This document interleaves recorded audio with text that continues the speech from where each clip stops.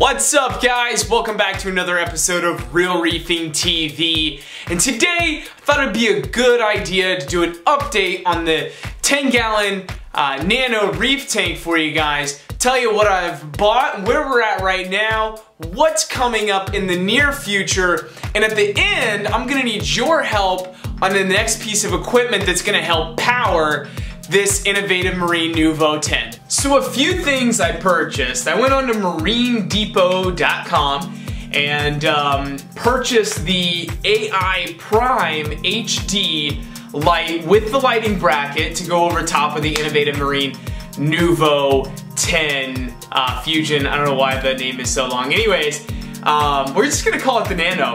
How about that? So the light, I bought the light and the, and the bracket to go over top of the Nano.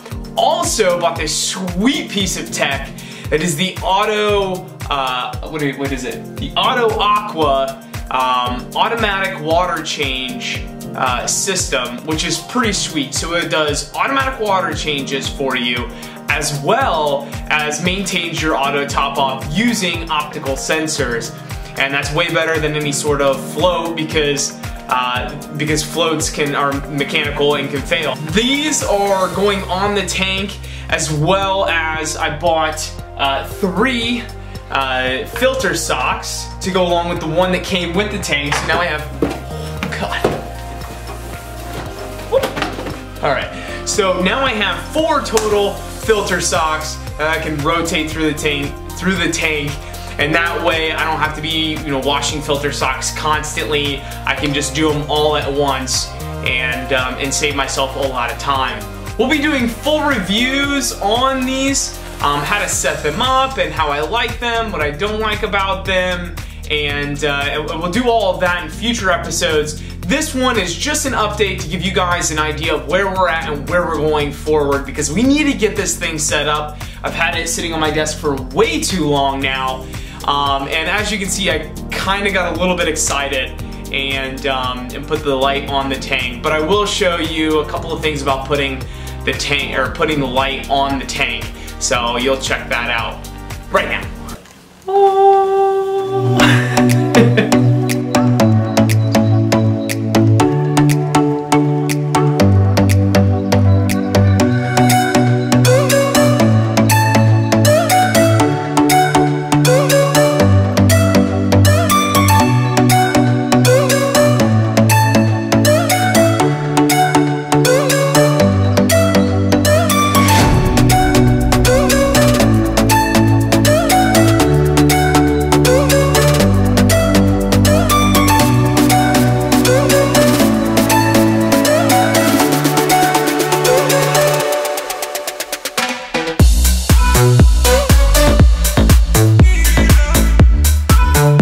What's coming up? What do we have to do next? I think the next thing I'm gonna do is start uh, curing the rock that's gonna go in this tank. I've got about 30 pounds or so of uh, Haitian and Pukani and Fiji rock, kind of a mixture of the three, sitting outside on my back patio. So it's completely dry and dead, but what we need to do is we need to cure it. And I think what I'm gonna do for the cure is a bleach um, bath on it and uh, really just kill all the organics living in and on it.